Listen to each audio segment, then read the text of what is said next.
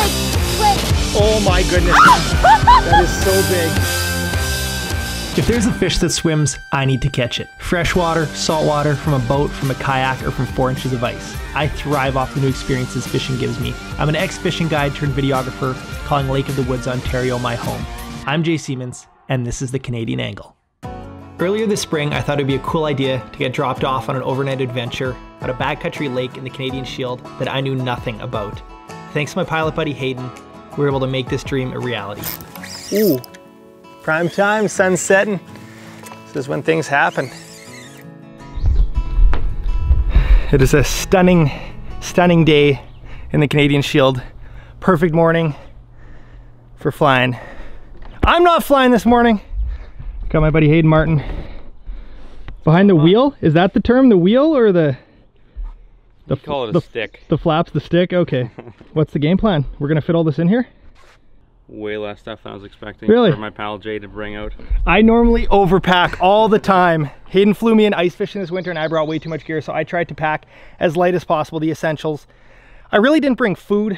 Um, I have a couple safety items, but essentially we're planning on, I'm planning on hopefully eating some walleye. So there's a lot of pressure to catch fish, but uh, time's wasting. We got a perfect morning and we got to load some gear.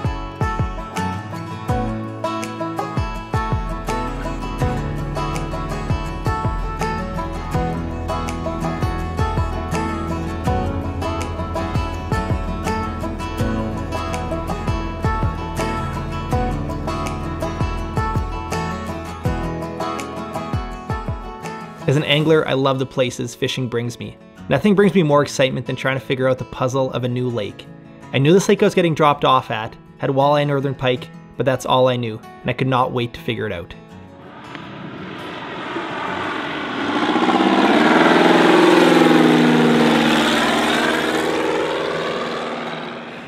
There goes Hayden.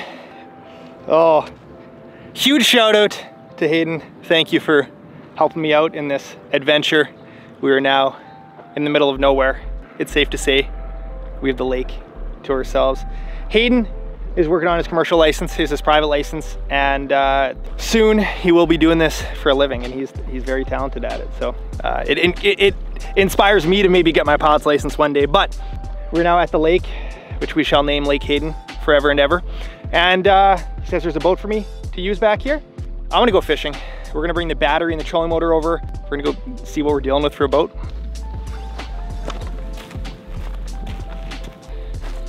There she is. Hayden says it doesn't leak. I'm gonna take his word for it. This looks like uh, looks like DOS Boat Season 3 right there. We'll have to make a couple modifications, but I think it's perfect for one person. Two people might be might be a little questionable, but got a decent transom to put the trolling motor on and the electronics and the nice flat bottom. I can actually set a tripod in the front to film. So this is gonna be this is gonna be deadly. Look at that. This is a 55 pound thrust. So this is the biggest you can get on a 12 volt system. All right, step one complete. Gotta power this bad boy. A nice seat that Hayden made for me. And the old bailing bucket. Floats. See ya. All right, guys, we're just about to head out.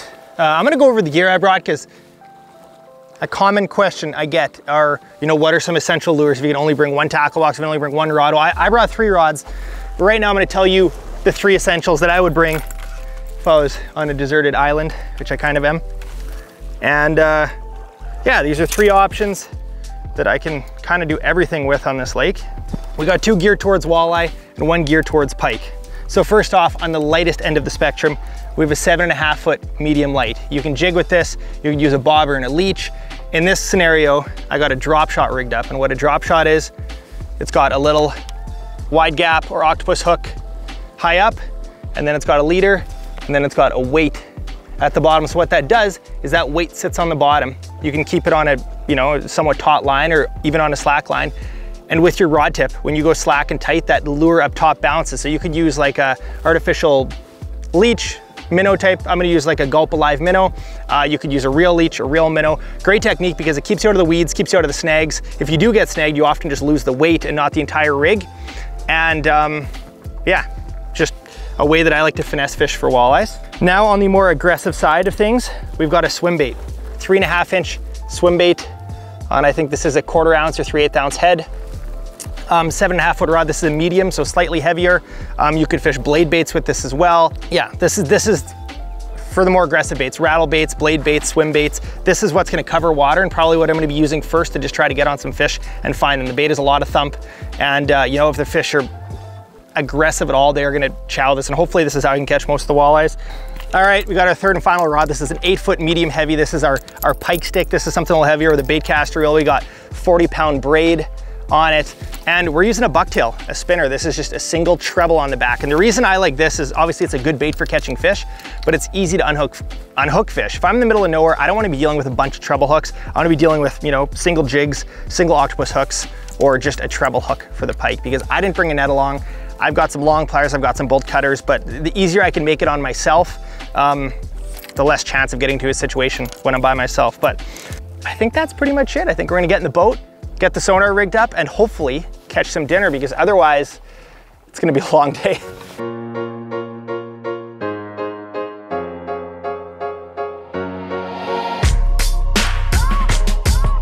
All right, welcome aboard the SSJ. The first goal is to catch walleye for sustenance, for food, and then maybe we'll go chase a big pike. But we're gonna hook up this little graph I brought along just so we know depth and maybe see some fish. Electronics is just so important for finding fish. Um, on a small lake like this, I mean, you can just visually see some of the features you might want to fish. For walleyes, I mean, rocky points are really good.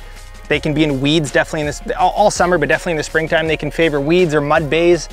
But probably like uh, one of the biggest factors in the spring, especially on a really small lake, is where is the wind blowing? So the wind's been pounding into the shore for I think a couple days now. So we're gonna focus on this end of the lake, where the wind's blowing. We're gonna set up our transducer first, and this is a handy little thing if you ever do fly-in type trips. This is just a um, portable transducer bracket. So you can get a suction cup mount or you can get these bars that just uh, crank onto your transom of your boat. So that's what we're gonna be using. It'll give us water temperature. It'll potentially mark fish if the fish are out deeper. All right, we're gonna start right in front of our camp. Looks like a nice spawning bay here. Um, a lot of shallow, weedy, I'm, I'm assuming it's weedy back here in the base. Not much for a rock face. So we're gonna kind of just drift. I mean, we do have an anchor if we get onto fish, but for now we're kind of just gonna drift some shoreline, cast to the swim bait, cover water. And uh, yeah, like I said, I'm focusing on the areas that the wind's been blowing, pushing the bait fish, pushing the whole food chain up onto those spots. So these fish will be done spawning already and hopefully they're gonna be hungry. Oh, first fish. What do we got? Oh, that fish was aggressive. He ate right beside the boat. We got a walleye. That did not take long on the swim bait. That was so cool. That was probably like three or four casts in. I could have sworn it was a pike by how aggressively he came and chased beside the boat. Part of me wants to release this, release this fish. Part of me wants to keep it for dinner. Ah, it's such a tough call. I'm gonna regret it. So I gotta keep this first fish. Otherwise, I may not have food today. So this guy is a perfect eater, probably a 14, 15 incher, and he is He's gonna be, he's gonna be real good later today. We're in six feet of water right now, kind of on the ledge of this rock. So basically how I'm working it, this swim bait is I'm keeping the rod tip high and then reeling a couple feet, letting it hit the bottom. So it's swimming, hitting the mud, swimming, hitting the mud. And so often when it hits the mud and then lifts up, there's a walleye just waiting to pounce on it. So I'm hoping that happens again. There we go. Oh, we got species number two in this lake the northern pike. Nothing wrong with eating a pike, but today, walleyes on the menu.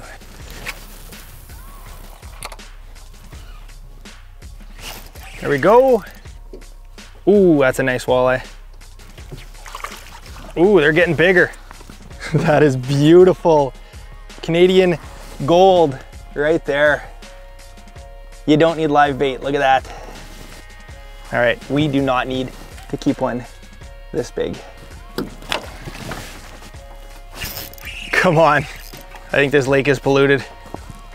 Just letting it tap bottom.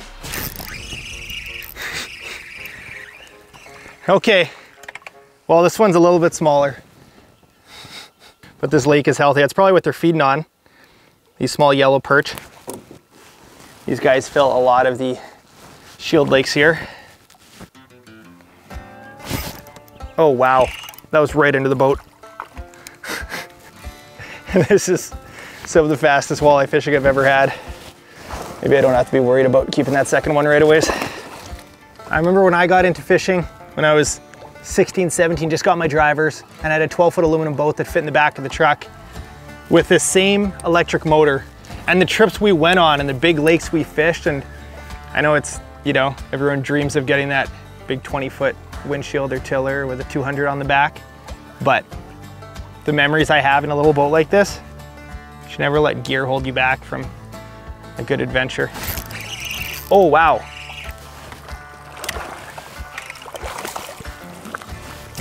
That was fun. This is so fun, guys. Look at this average size. Unbelievable. All right, spot number one. That was a success. We got dinner, got to set some hooks. They're shallow, which is good. We're gonna do some safaring now, some looking around. I got the graph dialed in. So yeah, I'm basically, there's a couple key spots like rocky points, wind-blown shorelines with some weeds. That's kind of what I caught them on. And then, I mean, this lake has like one or two islands, so we'll check around the islands as well. But uh, yeah, right off the start, this lake is a little deeper than I thought. It's 25 feet here. See what we can find. There's a term that if you're a walleye fisherman, you've heard it many, many times. It's called walleye chop. And it's just any sort of breeze. I would say this is a walleye chop right now. But when it is a glass, calm, flat, sunny day, walleye can be just so fickle, so tough to catch. You know, you have to use like the most delicate presentation right in front of their face. Any sort of wind, just it, it breaks up the light, it makes them tougher to see you and just they're a little more comfortable feeding. Like walleyes, when you, when you see their eyes illuminate the right way, like they're night feeders. They do a lot of their feeding in low light periods and they just, yeah, feel more comfortable that way. So middle of the day, flat and calm, definitely not ideal. This little breeze we have right here, a little bit of cloud cover. I mean, it's all in our favor. I think my bait got tangled or pulled down. Oh my goodness. There's weeds on my bait. Sure enough, then a pike comes out. Just to show you what we're dealing with, can you see that? The hook's not even in his mouth. He's not even hooked. He's just biting down on it. Look at that. got some weeds, got some boulders, and I think we got a pike. And I am wrong, that's just a very aggressive walleye. Look at that. You don't need live bait. These long pliers are super handy, especially when you end up dealing with a big toothy pike. Another one. Ooh, Not too many boats out today. It's kind of quiet. There we go. Thank you, Mr. Hayden, for dropping me off in paradise.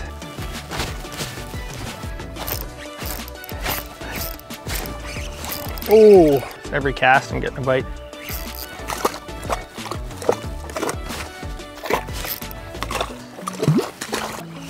Oh, Be free!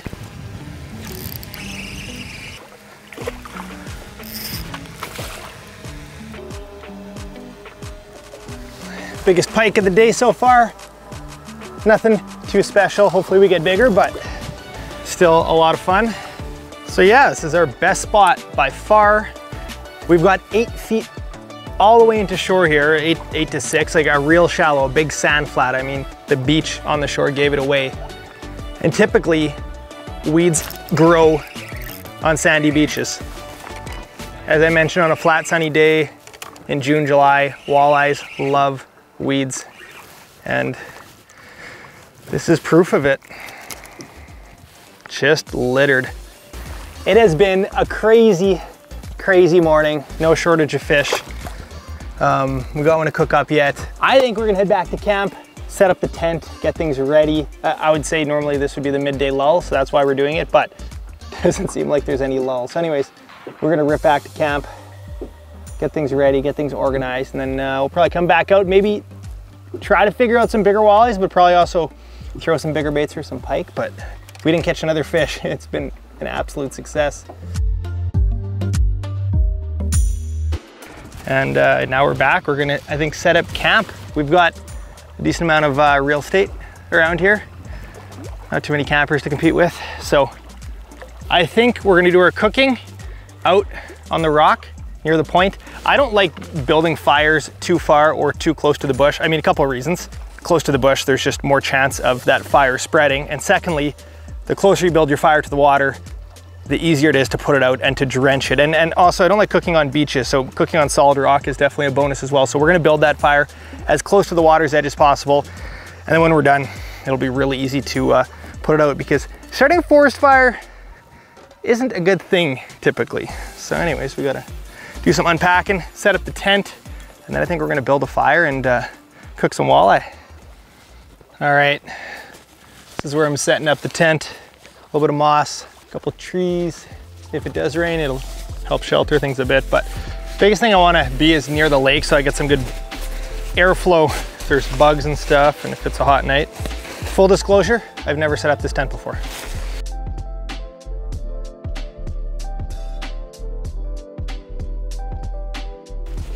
Thermarest, pillow, we're golden. All right guys, camp is all good. I think that's gonna be uh, a great place to spend the night as long as no bears come around. But I, I really didn't bring much for food along, so I don't think that'll be an issue. But decided not to cook now. We're gonna save that for later. We'll probably catch one more walleye and do a feast later tonight. But we got big pike to catch. So we're gonna get back on the water, try for pike. And if we're not successful, we're gonna head back and lay another beat down on the walleyes. But uh, I'm told there's some big pike in this lake, so I'm feeling good. If you're gonna target big pike, you need proper release tools. Yes, a big net or cradle would be good. Uh, I have a fair amount of experience hand landing pike. It is still something you need to be very careful with, but bolt cutters to cut the hooks in case things get crazy and it's hooked in a bad spot, and some long pliers, maybe even two pairs of long pliers. I have these, these other hookouts as well. Sometimes you need to pry them open with these, get the hook with that. But you just wanna be prepared because we're not fishing for numbers anymore. We're fishing for a 40 plus inch pike, you know? So that's, that's an old fish and that's a resource you need to take care of. So if we catch a big pike, we're absolutely releasing it and using the proper gear, right? We could land it on our walleye gear on 10 pound line, but you might fight that fish out. He might get very stressed in the warm water and end up dying. Just because they release doesn't mean they survive. So anyways, I'm just gonna put us on a slow forward movement. We're gonna start chucking a winding with this big, big spinner, bucktail. So with a bucktail, there's no pausing and letting it fall. There's just winding. Pike feel this, that vibration of the water off those blades, it drives them crazy. Muskies as well. Pike have a tendency to follow, so that's why I'm trying to stand when I pike fish, so I can see those follows, maybe speed up the lure and try to trigger that fish. With walleye, they don't, they don't really follow as much. You kind of either catch them or you don't. Both pike, sometimes some of the most ferocious bites you'll get is right beside the boat. They'll follow it and they'll eat it with a couple feet of line off the tip of your rod, which is like the best part of pike fishing. So it's so important to keep your lure in the water as long as possible and just to stay focused on what's going on because it can happen very fast.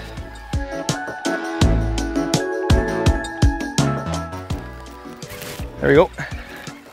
Oh, that's a little bit better. It was way out there. Ooh, there we go. There you go. Basically with a bucktail, you've got these two blades and when they start spinning, it creates a vortex. And that tinsel just explodes underwater and dances and undulates and pulses and it just drives fish crazy. And like I said, they feel it.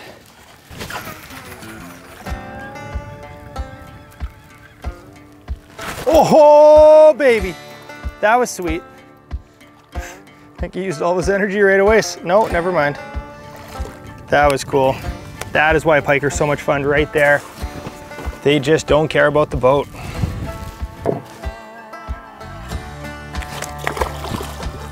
Pretty little guy. All that fish is under the boat, I can see him.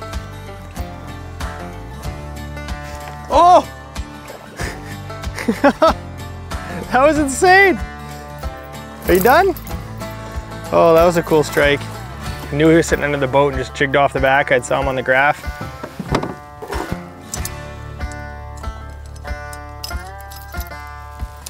Beautiful. That was fun. All right, guys. That is it for pike fishing this afternoon. It is almost dinner time since we skipped lunch, but I want one more walleye to eat because I think one is not gonna be enough for me right now. So hopefully this weed bed still has a couple walleyes left. We'll see.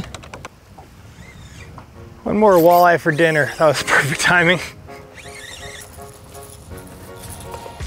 All right, that is exactly what we needed. Those two walleye are gonna turn into blackened chipotle walleye. Something I've never actually made before. I always like switching it up, trying new things, and uh, you know, doing the deep fried fish all the time is, you can't go wrong with the deep fried, but sometimes it's nice to do something different. We got dinner.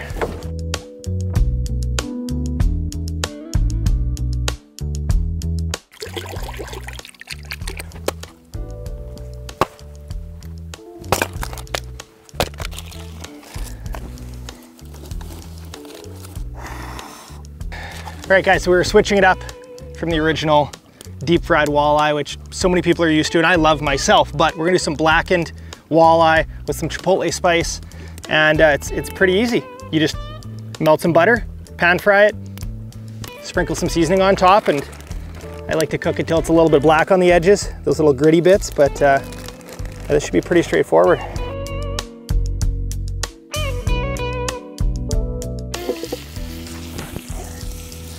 You can check it with a fork, but this all flake apart pretty easily right now. That's all very cooked. Well, you got your blackened chipotle walleye, about as fresh as it gets. Try not to put this down on my lap and burn myself. But it's just so easy to make. I mean, a little bit of butter and a bottle of spices. Nice thing about this meal as well is you don't need to get, the pan is hot, you don't need to get oil hot, you just need to get that butter, you know, warm enough, but it doesn't need to be cooking like normally if you're deep frying with oil. One more thing that needs special attention, it is such a dry summer up here in Canada, is you gotta put out your fires, put it out till you think it's good, and then put like another five pots or pans of water on it because you don't wanna be responsible for forest fire.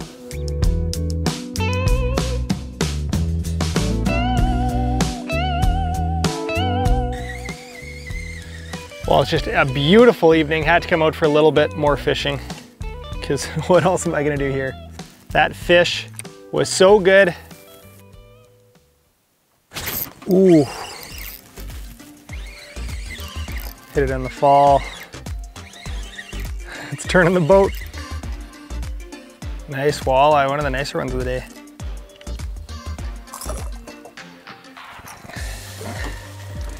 There you go sun is setting. It looks like some of the bigger fish are eating. So good. Well, the spot we started the day at now got us one of our nicer fish of the day. Just wonder how many fish are in this lake. It's just wild.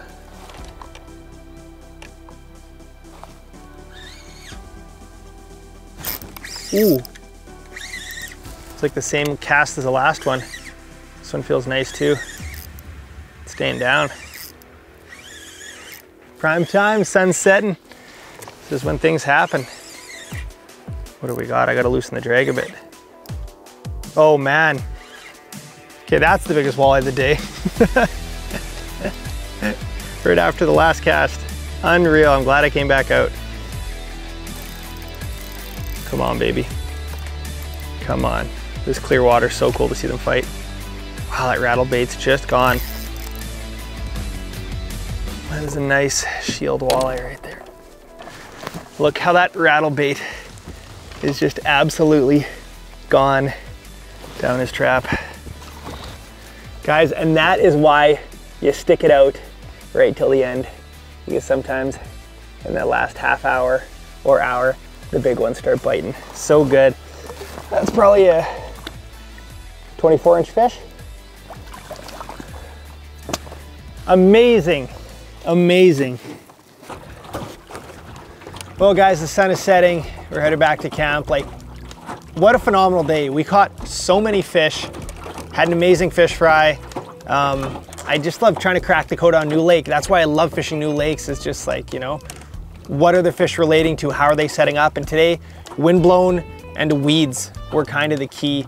And, um, you know, we didn't figure out the pike. We did, I think, figure out the walleyes decently, but we got one more morning, tomorrow morning, and hopefully, hopefully, we can find one of the elusive big pike around here.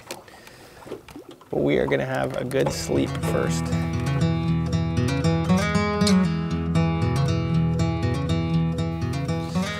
Well guys, we got some good news, some bad news. Good news, had a great sleep. Didn't have any bears bother us. Bad news, it's starting to rain and it's dark over there. And that is in the direction of where Hayden is, our pilot. He said it's pouring back at home. So he's not able to come right now. So we're, we're stranded for the time being. I'm not too worried, but uh, for me, that's gonna mean I think I need to pack everything up and not fish this morning. So when he is able to come, we're ready to go because I don't wanna be stuck here all week. I mean, I do, I do, but I can't. So anyways, we're gonna pack up. That unfortunately is gonna be it for our trip, unless this turns into a multi-day survival ordeal. But uh, yeah, amazing times in paradise. Just one of many gems to explore and it's just crazy. It makes you wonder how many lakes like this uh, maybe never get fished